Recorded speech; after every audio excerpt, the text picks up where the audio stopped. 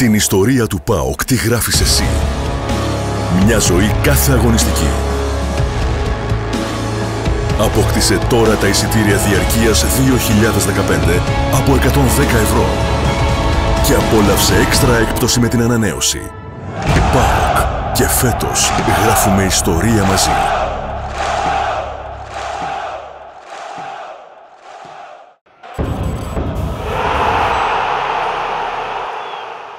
Δημήτρη, ο πρώτος μήνας της σεζόν σε βρίσκει MVP.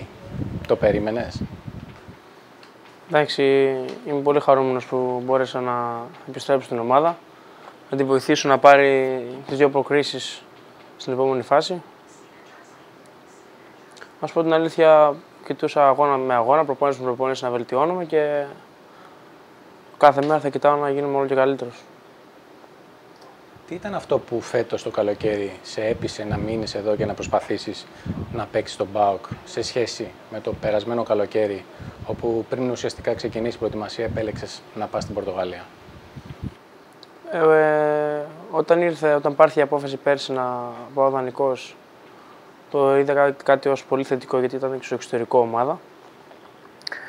Ε, όσον αφορά το φέτος είδα πολύ οργάνωση, είδα ένα πολύ, ένα πλάνο το οποίο μου άρεσε πάρα πολύ και με, τους, και με τον κύριο προπονητή και με τον κύριο Άρνεσεν.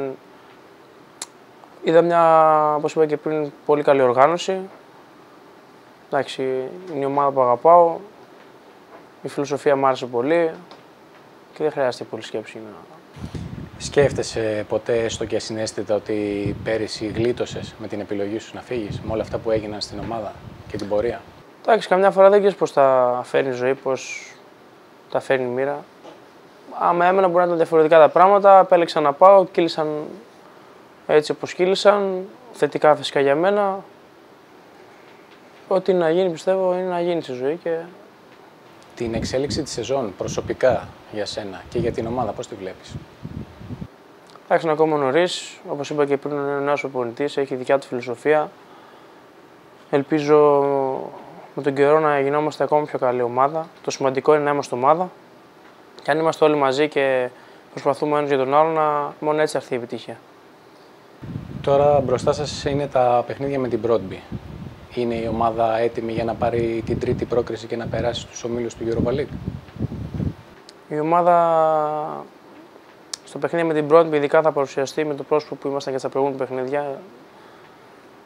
Ε, πιστεύω ότι είμαστε έτοιμοι, ότι άμα δώσουμε όλοι το 100%, όλοι το κάτι παραπάνω, άμα είμαστε μαζί, τρέξουμε πολύ πολύ σημαντικό, πιστεύω ότι θα, και, θα έρθει και το επιθυμητό αποτέλεσμα. Πόσο διαφορετικά θα είναι τα παιχνίδια τώρα με τους Δανούς σε σχέση με τα παιχνίδια με την Σπάρτακ, ας πούμε; Εντάξει, από ό,τι ξέρω είναι πιο υψηλής δυναμικότητας η ομάδα της Δανίας.